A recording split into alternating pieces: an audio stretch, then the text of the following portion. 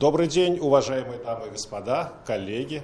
Многие из вас знают, что в Московской области, в городе Дубна, существует уникальный объединенный институт ядерных исследований. Институт физики Казанского федерального университета и Объединенный институт ядерных исследований давно ведут совместную работу, а с 2017 года создана совместная кафедра ядерного физического материаловедения. В этом году у нас выпускаются первые аспиранты, которые, надеюсь, защитят свои замечательные кандидатские работы. И сегодня я с удовольствием представляю представителя Объединенного института ядерных исследований, кандидата физико-математических наук Людмилу Колупаеву. И она расскажет об удивительном мире нейтрино. Людмила. Спасибо. А, да, я расскажу про физику нейтрино, но в приложении того, как она исследуется в Объединенном институте ядерных исследований. Поэтому акцент э, во всем, что я скажу, будет в первую очередь на те эксперименты, которыми занимается ОИЯИ. А, и начну я очень сильно издалека. А, как вы знаете, все вокруг нас состоит из молекул, молекулы состоят из атомов, э, в состав атомов входят электроны, это мельчайшая неделимая частица, и атомные ядра, которые в свою очередь состоят из протонов и нейтронов. Протоны и нейтроны состоят из кварков, это УИД-кварки. Эти три частицы, то есть электроны и кварки, а также глюоны, которые являются переносчиками взаимодействия между кварками, а, являются элементарными частицами – а, всего а, существует 17 элементарных частиц. Это вот мельчайшие неделимые кирпичики, из которых состоит все вещество вокруг нас. Это 6 кварков, 6 лептонов и частицы-переносчики взаимодействия между ними. А на сегодня я расскажу вам только в основном об этих трех частицах. Это нейтрино. Нейтрино существует в паре с заряженными лептонами, то есть существует электронное нейтрино, мионное нейтрино и тау-нейтрино. А на рубеже 19 и 20 э, веков было открыто явление радиоактивности, и очень активно стали изучаться радиоактивные элементы. А, и Резерфорд поставил вот такой интересный опыт, чтобы понять вообще, из чего состоит радиоактивное излучение. А, был источник радиоактивный, магнитное поле, и наблюдались э, частицы на фотопленке, и как они себя ведут. А, и он заметил, что часть частиц имеют отрицательный заряд, часть частиц имеют положительный заряд, а часть частиц вообще не замечают магнитного поля. А, и это альфа, бета и гамма излучения. А, эти частицы, они имеют немного разные свойства. Альфа излучение — это ядра атомов гелий, бета — это электроны, и гамма — это фотоны. А альфа-частицы можно затормозить просто листом бумаги. Чтобы затормозить электроны, нужен уже лист алюминия, а чтобы защититься от гамма-излучения, а, нужно уже такой значительный слой свинца. Эти все частицы активно изучались. По продуктам а, реакции пытались восстановить изначальную энергию а, изотопа, который породил это излучение, и все прекрасно работало с гамма и альфа. А вот в случае а, бета-распадов а, обнаружилась следующая загадка. А Чедвик в 1914 году обнаружил, изучая спектр бета-распада, наблюдая за электронами, обнаружил, что, вообще говоря, этот спектр является сплошным. То есть каждый раз, когда он наблюдал электроны во множестве распадов, у них у всех была разная энергия. А в случае двухчастичного распада у электрона должна была быть всегда фиксированная энергия. Он же наблюдал все время меньше энергии, чем предсказывала теория. И вот эта недостающая энергия, она была загадкой долгое время, потому что, а, возможно, энергия не сохраняется на уровне микромира. Это, конечно, было бы очень а, скандальным утверждением, потому что закон сохранения — это фундаментальный закон природы. А, в 1930 году Вольфганг Паули предполагает существование неуловимой а, нейтральные частицы, которые спускаются вместе с электроном при распадах и уносят вот эту вот недостающую энергию. А, ему казалось, что он сделал достаточно таки преступную вещь, то есть он ввел в теорию частицу, которую, по его мнению, никогда нельзя было обнаружить, потому что она имеет очень низкую вероятность взаимодействия с веществом. Но, к счастью, он ошибался, и два молодых ученых в начале 50-х годов подключились к поискам нейтрино. А на тот момент Фредерику Райнсу и Клайду Коуна было немножко больше, чем 30 лет. А примерно 20 лет к тому времени уже пытались найти нейтрино, и все эксперименты заканчивались неудачей. Они предлагают вначале эксперимент довольно-таки интересный, где предлагалось взорвать атомную бомбу, чтобы получить очень большой поток нейтрино. Проблема всех предшествующих экспериментов была в том, что фон, там, естественная радиация, либо космическое излучение, он подавлял любой сигнал, возможный от нейтрино. То есть, э, скорее всего, именно поэтому нейтрино не видели. А, и они вот предлагают эксперимент, где взрывается атомная бомба, под землей находится детектор, который должен как раз э, зафиксировать такое гигантское превышение э, сигнала над фоном. Самое интересное, что им одобрили даже этот эксперимент, и начались работы по раскопке вот этой шахты, а, но они вовремя поняли, что а, есть на самом деле другой путь. Этот эксперимент никогда не состоялся. А, возможно, конечно, было бы интересно посмотреть, что бы у них получилось. Но они поняли, что на самом деле можно вместо бомбы использовать обычный реактор. И ключом к регистрации нейтрино было бы взаимодействие нейтрино с веществом, в котором в этом акте взаимодействия рождался позитрон, а позитрон мгновенно аннигилировал и спускал гамма-кванты. А нейтрон, путешествуя некоторое время а, по а, материалу мишени, захватывался кадмием, и этот процесс также приводил к спусканию гамма-квантов. А вот это время захвата, оно довольно-таки характерное. Поэтому, наблюдая два сигнала, первый мгновенный второй отложенный на какое-то характерное время, можно было сказать, что этот сигнал инициирован именно нейтрино. А, они использовали вот такой детектор, а, где синенькое — это слои мишени, как раз вода с добавлением кадмия, а вот эти желтые слои — это жидкий сенсилятор. А за это открытие Фредерик Райнс получает Нобелевскую премию 1995 года. Клайд Коэн, к сожалению, не доживает до этого момента. А на тот момент э, считалось, что открыта ровно одна частица нейтрино без э, какого-либо э, прилагательного. А, но в 1962 году откры... было открыто второе нейтрино, которое было названо мионным. А, это сделали Леон Ледерман, Мелвин Шварц и Джек Стейнбергер. А, за это они также получили Нобелевскую премию 1988 года. Здесь изображен на этой фотографии Мелвин Шварц с детектором, с кровой камерой вот этого эксперимента в Брукхейвене. Вот эти вот длинные треки — это треки от мионов. А, и было открыто третье нейтрино в 2000 году, тау-нейтрино, а в эксперименте Донат в Фермилабе. На самом деле это было уже очень ожидаемое событие, потому что в 1975 году было открыто а, тау-лептон, и, естественно, было понятно, что существует еще одно нейтрино, которое соответствует этому тау-лептону. За это открытие не была вручена Нобелевская премия. А, то есть на сегодняшний день мы знаем, что есть электронная нейтрино, которое открыли Райнс и Коуэн, мионные нейтрино, которые открыли вот эти джентльмены, и тау-нейтрино, открытое экспериментом Донат. А, несмотря на такое довольно-таки линейное повествование, а, которое, о котором я сейчас вам рассказываю, а, у всей этой истории есть множество интересных ответвлений. А, в частности, одно из них — это пропавшие нейтрино, а, так называемая проблема солнечных нейтрино. Она была зафиксирована экспериментом а в 70-е годы впервые эксперимент назывался Homestake. А задача этого эксперимента была измерить э, нейтрино от э, Солнца. Джон Бекол, теоретик, разработал стандартную солнечную модель, которая описывала цепочку термоядерных реакций, которые питают Солнце. И как раз вот он предложил попробовать зафиксировать э, солнечные нейтрино. А дело в том, что фотоны, которые мы с вами наблюдаем от Солнца, то есть вот свет Солнца, а, это фотоны, которые были рождены в Солнце примерно 100 тысяч лет тому назад. Дело в том, что фотонам, чтобы покинуть Солнце, а, требуется такое большое время из-за множественного рассеяния на плотной среде Солнца. А вот нейтрино, ввиду их очень слабого взаимодействия, требуется всего лишь 8 минут после рождения.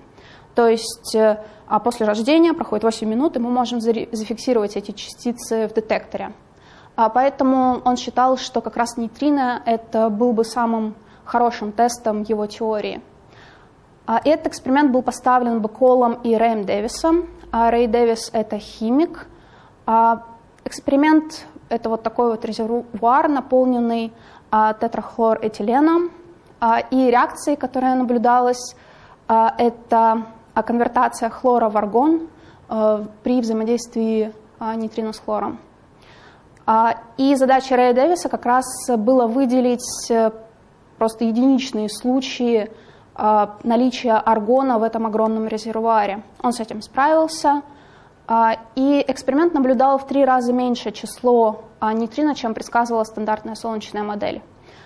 После этого эксперимент проработал еще 24 года, и было еще несколько экспериментов, которые подтверждали это наблюдение. На самом деле был даже другой класс экспериментов, который видел а, похожую ситуацию. Это эксперименты а, с атмосферными нейтрино. А, они также видели несогласие а, теории эксперимента. Атмосферные нейтрино рождаются при взаимодействии протонов с атмосферой а, Земли. А, точнее, рождаются мезоны, мезоны распадаются, порождают а, лептоны, в том числе нейтрино. И их можно наблюдать и как раз вот Э, сравнивать с теорией. И эксперименты с атмосферными нейтрино видели то же самое. Эту загадку разрешили на рубеже 20 и 21 веков э, два эксперимента. А, один из них — это эксперимент СНО, а, который также работал с а, солнечными нейтрино, но отличительной чертой этого эксперимента по сравнению со всеми его предшественниками было то, что этот эксперимент мог э, видеть все типы нейтрино. То все его предшественники мерили только электронные нейтрино, которые взаимодействуют с веществом детектора через заряженные токи. А, и вот в случае СНО заряженные лептоны производят черенковское излучение. Это черенковское излучение улавливается фотоэлектронными умножителями. А вот этот детектор из э, тяжелой воды. А при взаимодействии всех типов нейтрино они могут также взаимодействовать э, через нейтральные токи. А, и этот эксперимент обнаружил, что действительно электронных нейтрино примерно в три раза меньше, чем предсказывает теория. Но вот полный, а, полная сумма а, всех типов нейтринов, она согласуется с предсказанием. То есть э, получается, что в Солнце рождаются электронные нейтрино, но что-то с ними происходит, что на пути к Земле они становятся уже не только электронными, но и ионными тау-нейтрино. Еще один эксперимент – это знаменитый суперкамяканда, который располагается в Японии. Это гигантский водно-черенковский детектор, 50 э, килотонн а, воды.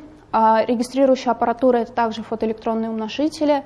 Вот здесь э, показаны люди, которые обслуживают детектор, и вот этот весь огромный резервуар – это детектор. Этот эксперимент работал с атмосферными нейтрино, а, и его отличием от предшественников было то, что он а, наблюдал атмосферные нейтрино, которые проходят как сквозь всю Землю, так и рождаются четко над детектором. И в случае, если нейтрино рождаются, приходят сверху, рождаются на высоте примерно 10 километров, то эксперимент видит согласие с теорией.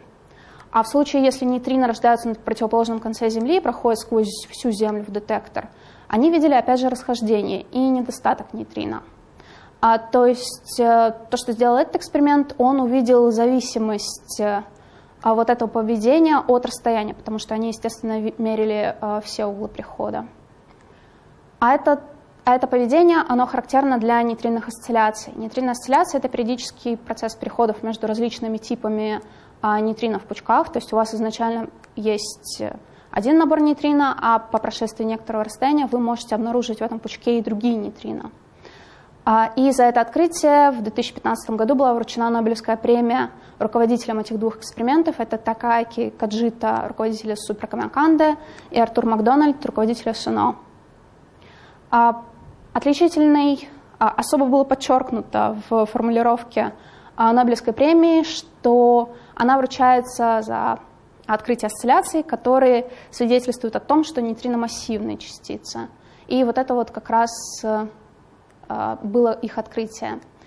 А, эти два джентльмена, они хорошо известны в Дубне. Еще в 2004 году была вручена а, премия имени Бруно Пантекорова. Это довольно-таки престижная премия физики нейтрино Артуру Макдональду. А Такаки Каджита э, был лектором на школе Пантекорова, которая организует ОИЯИ. И здесь очень уместно рассказать о выдающемся ученом, который работал в ОИЯИ. Это а, физик Бруно Пантукоро, который был рожден в Италии, но эмигрировал а, потом в СССР. И с 1950 года он а, работал в Дубне. Он внес огромный вклад вообще в физику частиц, но а, особо известен, и мне, конечно, особо дорог его вклад в физику нейтрино, поскольку я работаю в физике нейтрино. А, в частности, он а, выдвинул четыре идеи, которые как раз привели к тем Нобелевским премиям, о которых я рассказала вам на предыдущих слайдах. То есть он выдвинул идею регистрации нейтрино хлор-аргоновым методом, который использовал Рэй Дэвис. Он также предложил идею использования а, реакторов как источников нейтрино, что потом воплотили в жизнь а, Райнс и Коуэн. А, и также он выдвинул теорию нейтринных осцилляций в 1957 году. Это было задолго до открытия вообще других типов нейтрино, задолго до а, обнаружения какого-то недостатка нейтрино а, в потоке нейтрино от Солнца. И естественно, за много десятилетий вообще до открытия нейтринных осцилляций. И эту теорию он ее много лет развивал, и в конечном итоге, собственно, она прекрасно согласуется с экспериментом. А также в 1959 году независимо а, Пантекорова и Штейнбергер а, выдвинули идею использования ускорителей для получения пучков а, нейтрино и впервые предположили, что существует не одно нейтрино, а два. А также в нем было много других э, интересных идей и экспериментов физики частиц. А в частности, когда он еще до приезда в СССР работал в США, в нефтяной компании в Оклахоме, он первым предложил и первым а, воплотил в жизнь а, метод нейтронного картажа для обнаружения а, нефтяных пластов. Он работал много лет в Объединенном институте ядерных исследований. Это институт, который располагается в Московской области, основан в 1956 году. Это международная межправительственная организация. А на нынешний момент в ней состоит 16 стран-участниц с полноправным а, участием в управлении институтом. А это довольно-таки большой институт, он состоит из семи лабораторий, каждая из которых это вот, ну, примерно по размеру, как стандартный российский научный институт персонала порядка 5,5 тысяч человек. Из них 1400 э, — это научные сотрудники. И вот здесь представлены стандартные научные направления, которыми занимается ОИЯИ, и вот здесь вот выделена отдельно а, физика нейтрино, астрофизика, о которой я сегодня расскажу.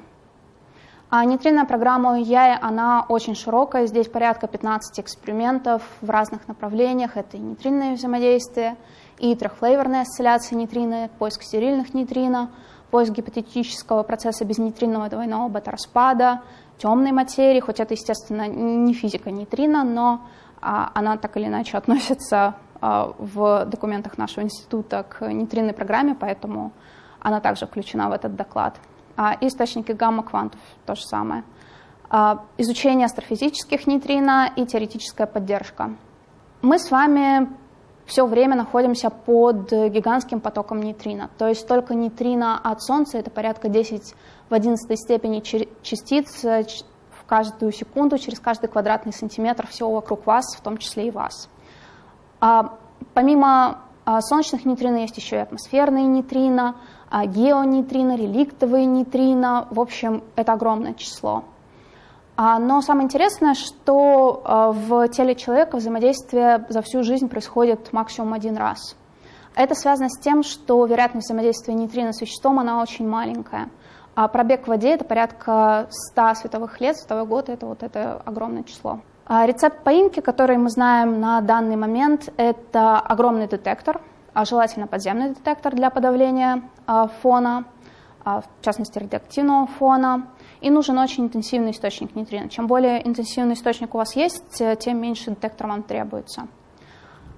А, зачем же вообще мы это делаем? А, дело в том, что нейтрино — это фундаментальная частица, а, она является вот одной, опять же, из этих 17 частиц, из которых строится все вокруг нас. А нейтрино рождались в самые первые мгновения после Большого взрыва, поэтому они несут информацию о том, что происходило во время Большого взрыва а, и в первое мгновение после него. И так как нейтрино очень слабо взаимодействует с веществом, а, то, в частности, поймав вот эти первые реликтовые нейтрино, а, можно получить уникальную информацию о том, что же там происходило. А нейтрино часто связывают и с барионной симметрией Вселенной. Но здесь нужно оговориться, что часть теории связывает, а часть не связывает. А барионная симметрия Вселенной — это а загадка, почему же все вокруг нас состоит только из вещества, и где же антивещество, куда оно делось. А также есть наметки практического применения, но пока что это очень такие далекие перспективы. То есть, в частности, нейтрино предлагается использовать для мониторирования работы атомных электростанций. В частности, у МАГАТЭ есть такая программа по использованию небольших детекторов нейтрино, которые будут располагаться в атомных электростанциях в рамках программы по нераспространению ядерного вооружения. А есть также идея использования нейтрино для а, томографии Земли, а, ну и остальные идеи, которые еще более далекие от воплощения в жизнь. На данный момент, по большей части, физика нейтрино — это фундаментальная физика. Есть следующие источники нейтрино. Есть нейтрино очень-очень маленьких энергий, которые были как раз вот рождены в первые мгновения после Большого взрыва, но из-за как раз их маленькой энергии это очень большая проблема их обнаружить. Но, естественно, их обнаружение — это автоматически Нобелевская премия. А далее идет спектр солнечных нейтрино. А здесь э, поток, то есть частицы на площадь в секунду, а, в зависимости от энергии. А, и начиная примерно с энергии в 1 КФ мы, в принципе, детектируем а, нейтрино. То есть спектр солнечных нейтрино, спектр геонейтрино, то же самое, что солнечные нейтрино, но, но а, нейтрино, которые рождаются в результате распадов э, в Земле. А есть э, также нейтрино от реакторов, это, естественно, неестественный источник э, этих частиц, но это уже такой неизбежный источник ввиду широкого распространения атомных электростанций по всему миру. Далее есть спектр нейтрино от взрывов э, сверхновых, широкий довольно-таки спектр атмосферных нейтрино, которые рождаются в результате взаимодействия протонов с атмосферой Земли. А, и этот спектр кончается очень высокими энергиями и очень загадочными нейтрино супервысоких энергий, которые непонятно откуда рождаются. И это тоже довольно-таки актуальная задача на данный момент. А помимо этих источников нейтрино есть ускорительные нейтрино, это искусственные источники чисто для фундаментальных целей и чаще всего под конкретный физический эксперимент. И также э, радиоактивные источники нейтрино. А современная физика нейтрино, вот здесь попытка поделить на условное практическое применение и чисто фундаментальные задачи, которые актуальны на данный момент. А физика с нейтрино — это физика конкретных э, источников нейтрино. То есть, в частности, а, с солнечными нейтрино это а, регистрация нейтрино от Солнца и фактически в реальном времени понимание, что же происходит внутри Солнца. А геонейтрино все то же самое, но с Землей. А реакторные нейтрино — это вот мониторирование работы атомных электростанций, атмосферные нейтрино в приложении к а, томографии Земли, а сверхновые нейтрино — это нейтрино, которые рождаются при взрывах сверхновых, а, и которые несут информацию об этом процессе. Астрофизические нейтрино а, — это очень загадочные космологические нейтрино, а, непонятно, что их источник, и это очень такая актуальная тема, что же это такое. Ну и ускорительные нейтрино — это на самом деле тоже чисто фундаментальная физика. А физика нейтрино — это фундаментальная физика. На данный момент актуальные разделы — это нейтринные осцилляции, число нейтрино, измерение массы нейтрино. Мы знаем, что нейтрино массивная частица благодаря осцилляциям, но не знаем, какая точно у нее масса. Это поиск гипотетического процесса безнейтринного двойного бета-распада, изучение взаимодействия нейтрино. Это довольно-таки старый раздел, но он все еще очень актуальный, потому что это очень важная входная информация для всех остальных э, экспериментов и поиск э, загадочных реликтовых нейтрино. Это на самом деле не исчерпывающий список, то есть э, есть еще другие разделы. А, физика нейтрино — это очень огромная физика. Здесь синим подсвечено то, чем занимается ОИЯ. А, и начну я с взаимодействия нейтрино. А здесь ОИЯ участвует в экспериментах по изучению когерентного рассеяния нейтрино.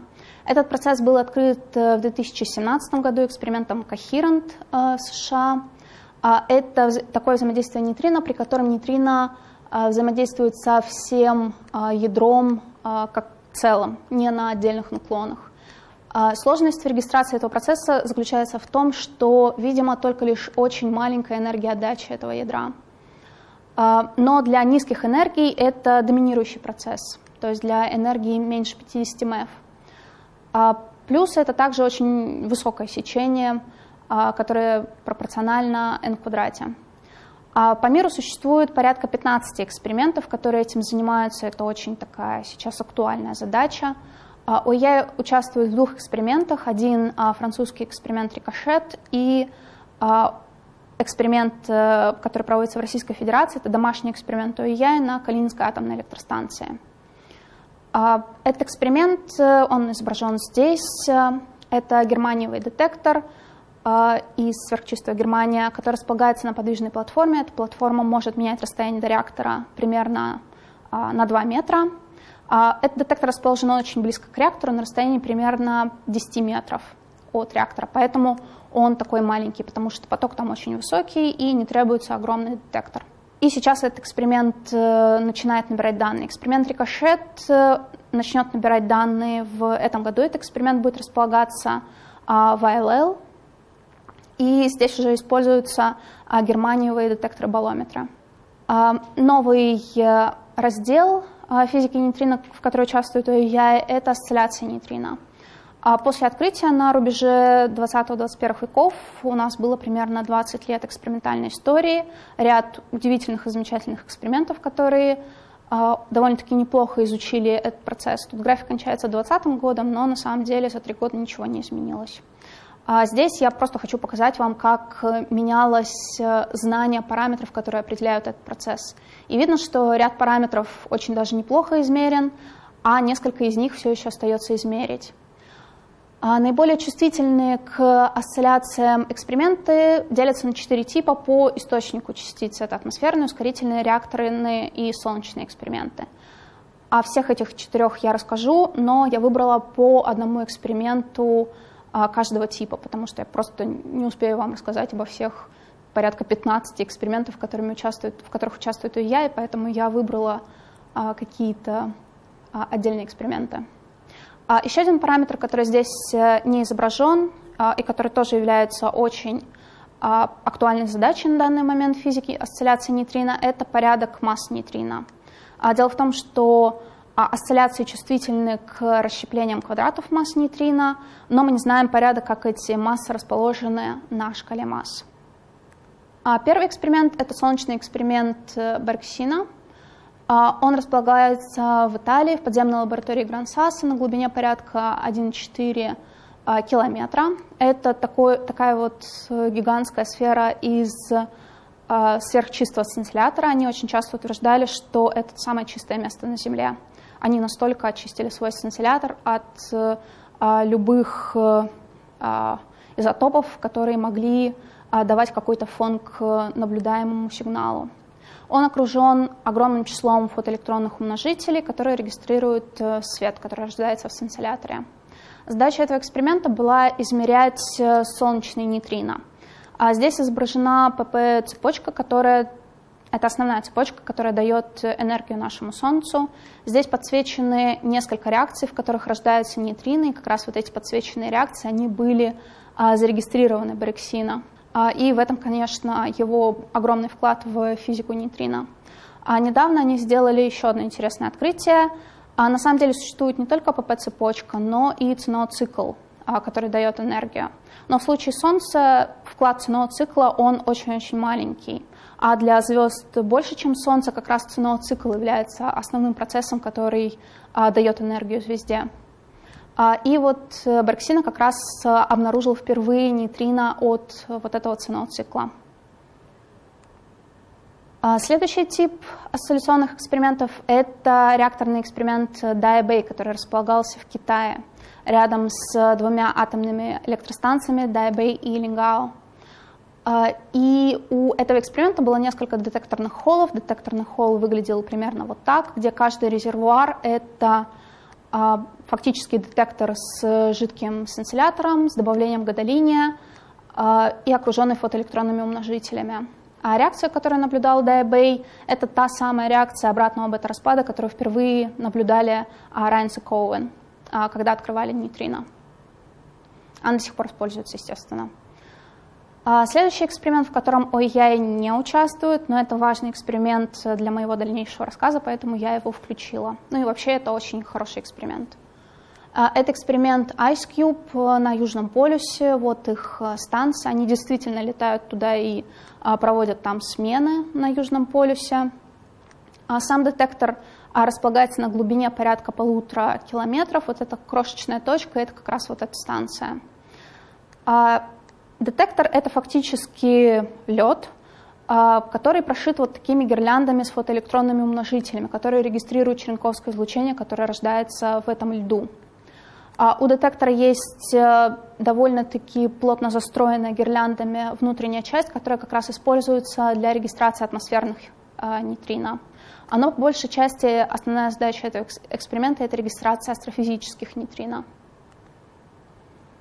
А, и еще один эксперимент э, ускорительный. Это будущий эксперимент э, в США, а, который базируется в Национальной ускорительной лаборатории имени Ферми. А, там ускоритель используется для ускорения протонов, которые вводятся на неподвижную мишень. В результате этого взаимодействия рождаются мезоны, которые распадаются и дают поток нейтрино. Эти нейтрино путешествуют на расстоянии 1300 километров в, в дальний детектор, который расположен в подзе... будет расположен в подземной лаборатории Сэнфорд. Этот детектор а, — огромные времяпроекционные камеры, наполненные а, жидким аргоном. Вот тут вот показано ребро одного из модулей, всего таких модулей 4, и вот эти вот крошечные точки — это люди, то есть э, одно ребро — это 17 метров, и далее это еще уходит примерно на 30 метров. Это из-за того, что детектор очень далеко расположен от источника. А поэтому, чтобы видеть какой-то статистически значимый сигнал, нужен огромный детектор. А здесь показано, а, показан прототип этого детектора, который располагался а, на тестовом пучке в ЦЕРНе. То есть это уменьшенная копия той же самой время проекционной камеры. А, это была стадия R&D, то есть э, фактически подтверждение концепции детектора перед тем, как строить большой детектор. А, отдельный раздел — это изучение количества типов нейтрино. Казалось бы, чего тут изучать, потому что известно, что нейтрино есть три штуки. А, более того, это подтверждают не только, э, не только эксперименты а, из нейтриной физики, но и эксперименты, в частности, предшественник Большого адронного коллайдера. Это Большой электронно-позитронный коллайдер в ЦЕРНе, который в конце 90-х годов, изучая ширину распада Z-бозона, установил, что число нейтрино, следующее с ошибкой, то есть это очень хорошо согласуется с тройкой. А также изучение микроволнового космического фона дает э, следующий результат. Это опять же очень хорошо согласуется с тройкой. А, но есть э, ряд аномалий. А, есть четыре аномалии, которые существуют уже не первое десятилетие. Это ускорительные экспериментов э, мини-бун LSND и галевая аномалия экспериментов Galaxy Sage. Кстати, эксперимент Sage — это совместный проект, который реализовывался в 90-е годы а, ой, России и Америкой. То есть S — это Soviet Union, а A — это Америка. Когда этот эксперимент начинался, был еще Советский Союз. А, и эти эксперименты, они видят расхождение, опять же, либо превышение, либо недостаток нейтрино по сравнению с тем, что они должны видеть. А есть еще две очень недавние аномалии. Это реакторная аномалия эксперимента нейтрино-4, который проводится в Дмитровограде, а, и а, эксперимента BEST, который располагается на, в Баксанской нейтринной обсерватории на Кавказе. А, эти эксперименты также видят аномалии. Когда физики видят какую-то аномалию, это значит либо это то, что мы не знаем, то есть это Нобелевская премия, либо это какая-то ошибка. И всегда все надеются на то, что это именно первое. Естественно, есть огромное число экспериментов, которые пытаются либо проверить эти аномалии, а, либо их отвергнуть, э, либо их подтвердить. А, дело в том, что все эти четыре аномалии, еще плюс две новые, а, можно объяснить э, существованием еще одного дополнительного нейтрина, которое взаимодействует с веществом не совсем так, как э, три других нейтрино. Это нейтрино носит название стерильного нейтрина. И здесь у ИЯ есть очень хороший домашний эксперимент DANS, который также располагается на Калининской атомной электростанции. Это вот такой вот э, детектор из пластикового сцинциллятора размером примерно 1 а, кубический метр. А, он такой маленький, потому что, опять же, он располагается очень близко к источнику. Он располагается примерно на 10 метрах от реактора. Он также расположен на подвижной платформе. А, вот эта вот система с подвижными платформами, она помогает избавиться от части систематических неопределенностей, связанных э, с потоком нейтрино. А следующий раздел, в котором ОИЯИ, которым ОИЯИ занимается, это безнейтринный двойной бета-распад. То есть это ответ на вопрос, наблюдение этого процесса, это ответ на вопрос, является ли нейтрино частицами Майорана или частицами Дирака. Известен хорошо в ядерной физике процесс, который называется двойной бета-распад.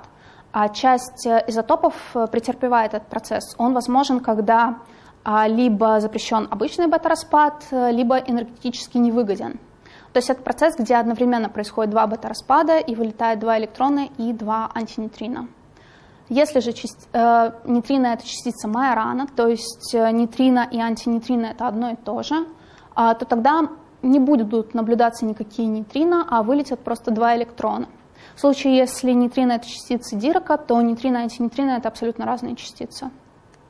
А, и берется, например, какой-то из этих известных десятка изотопов, а, измеряется его спектр а, двойного бета-распада, и если существует процесс безнейтринного двойного бета-распада, то в конце спектра будет вот такой небольшой маленький пик.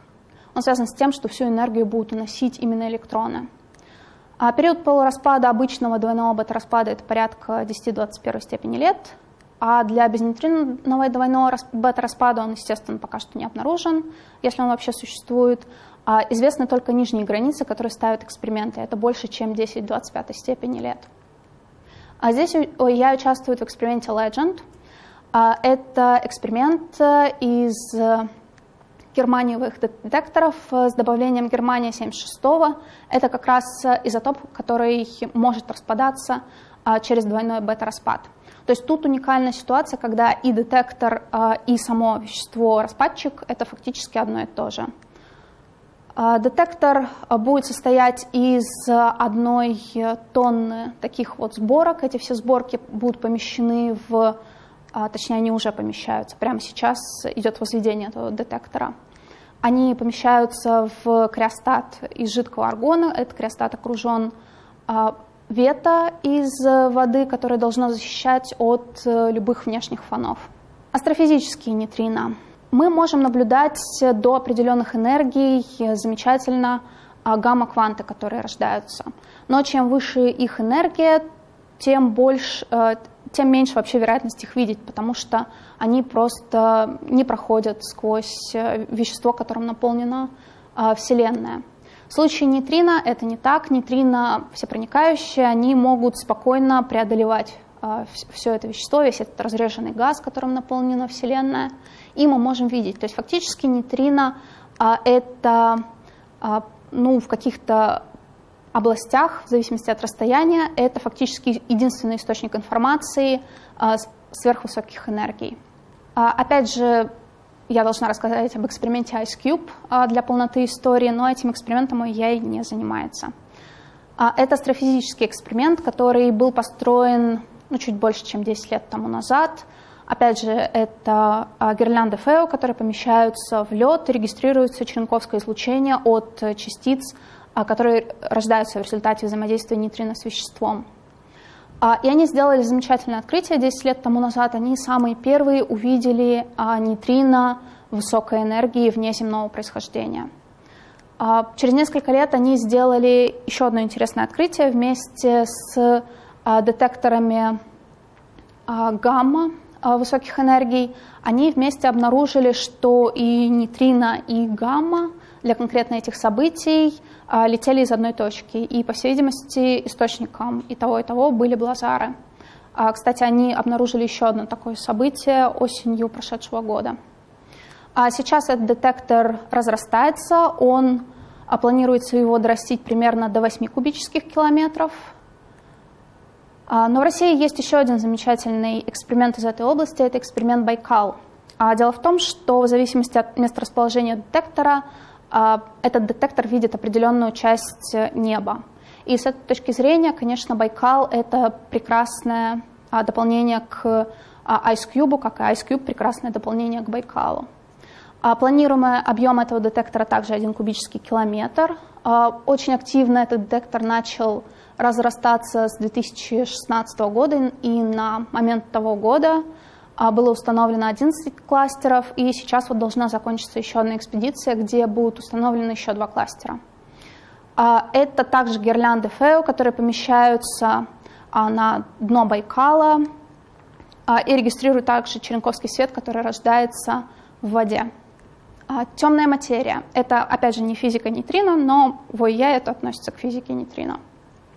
Я думаю, это связано с тем, что очень долгое время надежды на происхождение темной материи связывали со стерильными нейтрино и вообще с тем фактом, что нейтрино массивные частицы. Но на данный момент основные а, частицы кандидаты в темную материю — это а, КХД-аксионы и а, вимпы. Вимпы — это Weakly Interacting Massive Particle, то есть фактически это собирательное название каких-то неизвестных частиц, которые взаимодействуют очень слабо с веществом. И сигнатурой э, взаимодействия таких э, таких частиц э, с нашим привычным веществом была бы маленькая энергия отдачи от упругого рассеяния на ядрах. И опять же здесь задача увидеть очень-очень маленькие энергии, порядка а, десятка кевов. И здесь я участвую в эксперименте Edelweiss. Это эксперимент, опять же, с германиевыми болометрами, эксперимент Darkside. А Darkside — это а, время проекционная камера, наполненная жидким аргоном. Выглядит это вот так. Это очень похоже на эксперимент Дюн, потому что детекторная технология одна и та же. А, но в мире существует огромное число экспериментов, которые уже меряют, либо собираются померить, а, попытаться померить темную материю. Здесь показаны их чувствительности, и вот чем меньше, чем больше область ограничивается вот этой кривой, тем более хорошая чувствительность у эксперимента. А, видно, что а, довольно-таки хорошей чувствительностью обладают эксперименты, которые связаны с а, благородными газами. В частности, вот Dark Side, который жидкоаргоновый. Здесь есть две замкнутые области. Это результаты эксперимента Дама, который проводил измерения где-то 15 лет тому назад, 10-15. И они единственные, кто утверждали о том, что они видят темную материю. Но на самом деле после их измерения было еще несколько экспериментов, которые а, по той же самой детекторной методике пытались э, повторить их результат, но у них ничего не получилось. А поэтому это довольно-таки неоднозначная, а, неоднозначный сейчас результат. Все остальные эксперименты никогда не видели темную материю. В ОЕ также есть несколько небольших теоретических групп, которые занимаются физикой нейтрино. Это группа, которая занимается а нейтрино-ядерными взаимодействиями, теорией и настройкой различных моделей в соответствии с экспериментальными данными. А это и люди, которые разрабатывают теорию нейтриных осцилляций в рамках КТП, а люди, которые считают ядерные матричные элементы для безнейтринного двойного бета-распада и двойного бета-распада. Это очень важный теоретический инпут, разумеется, для экспериментов. И группа, которая считает э, поток реакторных нейтрино антинейтрино. Если вы студент, вам интересна физика нейтрино, то есть несколько школ, которые организуют ОИЯИ а, совместно с другими организациями, либо самостоятельно. А в частности, в этом году а, будет ежегодная Байкаль... Байкальская школа, а в этом году юбилей Пантекорова, 110 лет, и вот эта Байкальская школа будет приурочена к физике нейтрино. Там будет очень много хороших лекций, хороших лекторов. Если вам интересна физика нейтрино, то очень советую попробовать ее послушать именно на Байкальской школе. А есть еще Баксанская школа совместно с ИЯ Иран. Она проводится раз в два года. И школа по нейтринной физике имени Бруно Пантукорова также раз в два года. Вообще я очень советую подаваться на различные школы, потому что обычно есть э, финансовая поддержка у школ а, на конкурсной основе для участников. Поэтому есть шанс поехать э, бесплатно и послушать очень интересные э, лекции.